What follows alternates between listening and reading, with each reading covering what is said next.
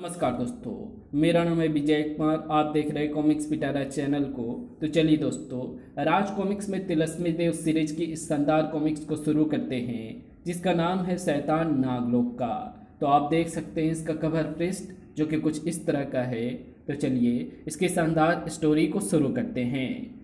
नागलोक का राजा नागदेव पृथ्वी पर सातुल्य नगरी के राजा सातुल्य देव की पुत्री राजकुमारी महक के सौंदर्य पर हुआ आसक्त। और भगवान विष्णु के साप से वो बन गया एक विलक्षण मानव, तिलस्म देव। उसके पश्चात रिक्त हुए राज सिंहासन को सर्वसम्मति से संभाला नागगुरु नगव्य ने। नागगुरु नगव्य? जिंदाबाद। ना जाने कब होंगे हमारे स्वामी नागदेव की वापसी। सभी कार्य पूर्व की तरह चलने लगे। और उसी दिन आखिर आज वो दिन आ ही गया। वापस नागलोक आने के लिए पूरे पाँच बरस की प्रतीक्षा करनी पड़ी है मुझे। आज मैं सक्षम हूँ नागदेव की ताकत से टकराने में। नागलोक के रक्षा प्रहरी अरे, नागलोक का डाकू चमड़ के तू। जल्दी से नागगुरु नगव्य को ये सूचना देनी होगी। क्या? चमड़ केतु लौट आया है। भरे राज दरबार में सनसनी फैल गई। चमड़ केतु चमड़ के केतु लौट आया है। उफ! नाग गुरु चमड़ केतु को नागलोक में प्रवेश करने से पूर्व भी रोकना होगा। पर हरि कबाब देव, नागलोक में प्रवेश के सभी द्वार अतिशीघ्र बंद करवा दो। जो आज्ञा नाग गुरु भूतपूर्व स्वर्गीय सेनापति क्रुफ क्रुफ दूत के भ्राता अलिंग दंड को बुलाओ। अलिंग दंड आज्ञा नागगुरु अलिंग दंड चमड़ केतु लौट आया है। उसे नागलोक में प्रवेश करने से रोकना होगा। चमड़ केतु नागदेव से अपना प्रतिशोध लेने के लिए लौटा है। अगर उसे पता चल गया कि नाग नागदेव इस समय पृथ्वी पर है तो उफ नागलोक के राजा नागदेव और क्रुफ दूत के विषय में जानने के लिए पढ़ें तिलिस्म देव और उसी पर थर्रा उठा संपूर्ण नागलोक। नागदेव!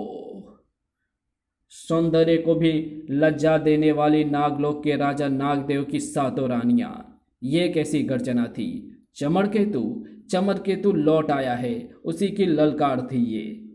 हाँ लौट आया हूँ मैं। तो नागलोक से बाहर आता है नागदेव, या मैं आऊँ भीतर? चमड़ केतु की जादुई शक्ति। ले देख, मैं ही आ गया भीतर। चमर केतु भीतर घुस आया है। बीस छोड़ो इस पर। बीस बान चमड़ केतु से टकराएँ। सन सन सन। ओह, अब ये बीस मेरा कुछ नहीं बिगाड़ सकते। बचो इन जादुई नेवलों से। नेवले नागलोक के प्रहरियों पर टूट पड़े। जब तक नागदेव स्वयं अपनी मान से बाहर ना आ जाए, तब तक बहाते रहो नागलोक में खून की नदी। उफ, नेवले, नागलोक की रक्षा के लिए हमें इनका मुकाबला करना होगा।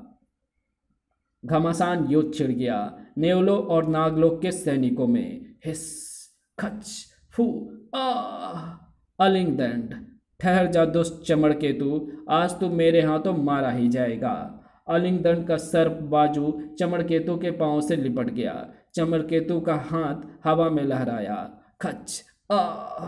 अब दोनों अब दोनों थे आमने सामने। अलिंग दंड मेरी तुमसे और तुम्हारे सैनिकों से कोई शत्रुता नहीं है। मुझे केवल नागदेव से बदला लेना है।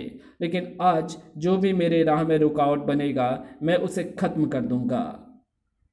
चमड़ केतु, महाराज नागदेव यहाँ नागलोक में है ही नहीं। किंतु अगर वे यहाँ होते भी तो मैं तुम्हें वहाँ ना पहुँचने देता। क्या? नागदेव नागलोक में नहीं है? अब बचा अलिंग दंड का वार। धर। ओह! चमड़ केतु ने अगले ही पल अलिंग दंड को दबोच कर उछाल फेंका। मैं यहाँ सिर्फ़ नागदेव की तलाश में आया था। उसे मारने के बाद मैं फिर यहाँ आऊँगा। ओह! चमड़ केतु ने एक सर्प सैनिक को दबोचा और उड़ चला। बचाओ। ओह, वो प्रहरी कबाब देव को उठा ले गया है। दूसरे ही पल चमड़ केतु जादुई नेवलों सहित वहाँ से गायब हो चुका था। वो हमारे एक सैनिक को उठा ले गया है। कबाब देव से वो महाराज नागदेव का पता पूछ सकता है नाग गुरु बहुत बुरा हुआ ये। और फिर शीघ्र ही कबाब देव की लाश मिली। नागदेव पर संकट के बादल मंडरा रहे हैं। उधर पृथ्वी पर। नागदेव तिलिस्म देव बन चुका है। तिलिस्म देव को कहाँ ढूंढना? तिलिस्म देव को कहाँ ढूंढूँगा मैं इस विशाल पृथ्वी पर? काश उस सर्प मानव को ये भी पता होता कि तिलिस्म देव के रूप में नागदेव पृथ्वी के किस कोनों में मौजूद है। चलते फिरते, चलते चलते ठिठक कर रुक गया चमड़ केतु। ओह, नगर में प्रवेश से पूर्व मुझे अपना वेश बदलना होगा। अन्यथा, बेकार ही ये पृथ्वीवासी मेरे हाथ तो कीड़े मकोड़ों की तरह मारे जाएँगे। चमड़ केतु नगरी में प्रवेश कर गया। यहाँ तो किसी उत्सव की तैयारी जोरों शोरों से चल रही है। ओह, इस मंदिर के संपूर्ण रास्ते पर पुष्प ही पुष्प बिखरे गए हैं। लेकिन ये क्या? मंदिर में कोई मूर्ति तो स्थापित ही नहीं है। अरे ओ भीमुरे, जल्दी कर, महाराज की सवारी आने वाली है। तिलेस्म देव की मूर्ति देखकर महाराज उछलना पड़े तो मेरा भी नाम भीमा नहीं है रे बिटुआ। तिलेस्म देव हट जा तो जरा देखूँ। वाह तिलस्म देव ऐसे ही दिखते होंगे। पता नहीं तिलस्म देव को सिर्फ़ राजा अर्जुन सिंह ने देखा है। उन्होंने जैसे रूप चित्र का बखान किया, मैंने मूर्ति ढाल दी। भगवान है तिलस्म देव अगर उन दिनों तिलस्म देव अर्जुन नगर की रक्षा ना करते तो भयंकर राक्षस विचित्र दंत हमारे पूरे नगर को नरमुंडों की घाटी बना डालता। कुछ भी तो नहीं छिपा तिलस्म देव से। कहाँ है ये तिलस्म देव तभी बाहर शोर मच गया राजा अर्जुन सिंह की, जय। महाराज अर्जुन सिंह, जिंदाबाद। तो लो, मूर्ति भी तैयार हो गई और महाराज की सवारी भी आ पहुँची है। पुष्प वर्षा के बीच राजा अर्जुन सिंह मंदिर की ओर बढ़े। तिलस्म देव की जय, राजा अर्जुन सिंह की जय। जय जयकार के नारों से आकाश गूंज उठा। राजा अर्जुन सिंह ने प्रजा को संबोधित किया। पिछले बरस आज के दिन तिलस्म देव ने हमारे राज्य पर आई विपत्ति से हमें छुटकारा दिलाया था। आज हम विधिवत उनकी मूर्ति इस मंदिर में स्थापित करेंगे। तिलस्म देव जिंदाबाद। पढ़ें तिलस्मी देव सीरीज़ का एक विस्मयकारी कॉमिक नरमुंडो की घाटी, जो कि हमारे चैनल पर पहले से अपलोडेड है। मूर्तिकार तिलस्म देव की मूर्ति को संपूर्ण आदर के साथ यहाँ लाया जाए। जो आज्ञा महाराज, भीमू वहाँ पहुँचा, जहाँ मूर्ति गढ़ी थी उसने। पर यह क्या, मूर्ति गायब? अरे भीमू, मूर्ति कहाँ गई तिलस्म देव की? यही तो थी मूर्ति कुछ देर पूर्व। क्या बात है, मूर्ति लाने में इतनी देर क्यों लग रही है? मूर्ति गायब हो चुकी है, मगर मूर्ति है कहाँ? महाराज, मूर्ति गायब हो चुकी है। क्या मूर्ति गायब हो चुकी? तिलस्म देव की मूर्ति गायब? तभी गूंज उठा एक अट्ठास। उफ, ये कौन है? इसके हाथ में तो तिलस्म देव की मूर्ति है। अब इस मंदिर में तिलस्म देव की नहीं चमड़ केतु की मूर्ति स्थापित होगी। चमड़ केतु सुना नहीं तुम सबने, अब यहाँ स्थापित होगी खुद मेरी मृत्यु। सुना नहीं तुम सबने, अब यहाँ स्थापित होगी खुद मेरी मूर्ति। नहीं, जय तिलस्म देव इस दुष्ट की गर्दन उड़ा दो, मारो मारो उपस्थित लोगों में आक्रोश उत्पन्न हो गया। मारो मारो। सैनिक चमड़ केतु पर वार करने के लिए आगे बढ़े। किंतु आओ, आगे बढ़ो, करो मुझ पर वार। धुम, आ, ई। कड़ाक, अरे, मेरी तलवार, मेरी भी। वो तलवार नहीं बनी जो काटे चमड़ केतु की चमड़ी को। मिट्टी की बनी थी क्या मेरी तलवार? हटो पीछे। मैं खुद ही करता हूँ अपनी मूर्ति वहाँ प्रतिष्ठित। उफ ठहर जा दुष्ट शैतान, हम तुझे ये अधर्म ना करने देंगे। ओ, राजा है तू? साए कर। ये लो अपनी तलवार। तो इसे सीधा कर, मैं अपनी मूर्ति स्थापित करके आया। शीघ्र ही। बोलो चमड़ केतु की जय। तभी सनसनाया भाला और चटाक। मूर्ति का टूटना अपसकून होता है और ये अपसकून है तुम्हारे लिए। आ महाराज को यहाँ से ले जाओ, जल्दी। चमड़ के तो तुम सबकी गर्दनें तोड़ देगा। आ मूर्ति स्थापना समारोह बदल गया चमड़ केतु के भय दहशत में। भागो, ये मार डालेगा। ये मार डालेगा, नहीं तो। कहाँ भागूं? मुझे तो चारों तरफ़ मौत ही मौत नज़र आ रही है। जिसे जिधर जगह मिली, जा छिपा। नगर हो गया सुनसान। सब जा छिपे कायर। मैं चाहूँ तो इन्हें इनके मकान में घुसकर मार डालूं, पर देखता हूँ कब तक छिपेंगे। घरों के भीतर सताएगा उन्हें मेरा भय, और बाहर निकलेंगे तो सताऊँगा मैं खुद। जल पीकर प्यास तो बुझा लूँ जरा गड़ब गुलुब गुलुब, तराउट आ गई गले में। खड़ाक। घरों के अंदर कैद नगरवासी। ना जाने कौन है ये दुष्ट। कम वक्त शक्तिशाली भी बहुत है। वरना सब मिलकर तो उसे पकड़ या मार ही डालते हैं। एकाएक संपूर्ण नगर एक अजीब सी आवाज़ से कौंद उठा। खर ये कैसी आवाज़ है? पता चला कि महाराज, चमड़ केतु सो रहा है। ये उसी के खर्राटों के स्वर हैं। ओ यही अवसर है महाराज, चमड़ केतु को इसी अवस्था में जाल फेंक कर बंदी बना लिया जाए, या वहीं मौत के घाट उतार दिया जाए। बीसियों पैदल सैनिक बे आवाज़ बिल्ली से सधे कदमों के साथ बढ़े उस कुएँ की ओर। चारों तरफ़ से घिर गया चमड़ केतु।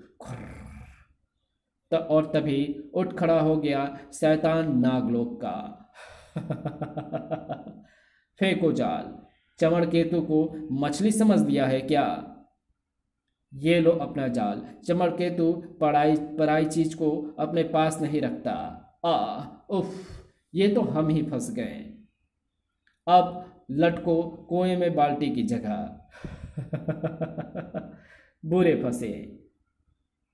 बचे कुछ सैनिक भागे और पहुँचे सीधे महाराज के पास। क्या? धोखा। ओह महाराज, इस प्रकार तो प्रजा अपने घरों में बंद, भूख और प्यास से मर जाएगी। उफ, समझ में नहीं आता इस संकट से कैसे छुटकारा पाया जाए। गुस्ताखी, माफ़ महाराज, अब तो इस संकट का एक ही एक ही हल दिखाई पड़ता है। वो क्या सैनिक तिलस्म देव, जिसकी मूर्ति को आज मंदिर में स्थापित किया जाना था। वाह, इस उधेड़ बुन में हम तिलस्म देव को तो भूल ही गए थे महाराज। तिलस्म देव? नगर के कोने कोने में उस वक्त लोगों की ज़ुबान पर एक ही नाम था। हे तिलस्म देव इस दुष्ट चमड़ केतु से हमारी मदद करो। तिलस्म देव तो मुझे शक्ति दे। मैं इस चमड़ केतु को इसकी नानी याद करा दूँगी। तिलस्म देव अगर तुम नहीं आए तो श्री देवी की तुम्हारे साथ कट्टी हो जाएगी। आओ ना तिलस्म देव आँखें खोलो बेटी, देखो हम आ गए हैं। प्रसन्नता से चीखी पड़ी वो नन्ही सी बच्ची श्रीदेवी।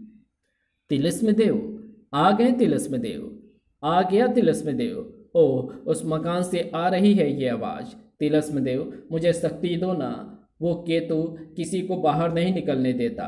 अवश्य पुत्री, तिलस्म देव, हमें क्यों नहीं दिखाई पड़ रहे हैं? फिर इससे पहले कि तिलस्म देव की शक्ति श्रीदेव, श्रीदेवी में समा जाती कड़ाक शैतान चमड़ केतु आ गया केतु, तिलस्म देव जिसे चाहता है, उसे ही दिखाई पड़ता है। तो मेरा संदेह ठीक ही निकला। नागदेव, पृथ्वी पर आकर तुम मुझसे छिप नहीं सका। आखिर ढूंढ लिया मैंने तुझे। चमड़ के तू मुझे तेरी मूर्ति देखकर ही पह, तुझे तेरी मूर्ति देखकर ही पहचान गया था मैं, और तुझे बुलाने के लिए ही मैंने यहाँ आतंक फैलाया था। गंभीर हो उठा तिलस्म देव का मुखमंडल। चमड़ केतु तो यहाँ से, यहाँ भी अपनी दुष्टता से बाज नहीं आया। तेरी इन्हीं दुष्ट प्रवृत्तियों के कारण ही हमने तुझे नागलोक से निकाल दिया था। अगर तूने नागलोक नागलोक की मनी चुराने की चेष्टा ना की होती तो पकड़ दो नागलोक के इस डाकू को और नागलोक से बाहर निकाल दो। नागदेव। मुझे कोई नहीं पकड़ सकता। नागदेव की शक्ति से नहीं जीत पाएगा तू गद्दार। विष्णु अस्त्र अब भाग निकलने में ही भलाई है। मैं जा रहा हूँ नागदेव, लेकिन एक दिन लौटूँगा और तब सर्वप्रथम तुम्हें ही समाप्त करूँगा। फिर बनूँगा नागलोक का राजा। इस इस दुष्ट को नागलोक से बाहर निकाल दो विष्णु अस्त्र। पाँच बरस तक मैंने भी घोर तपस्या करके कई शक्तियाँ हासिल की। मैं आज वो और आज वो समय आ गया है कि मैं अपना प्रतिशोध ले सकूँ।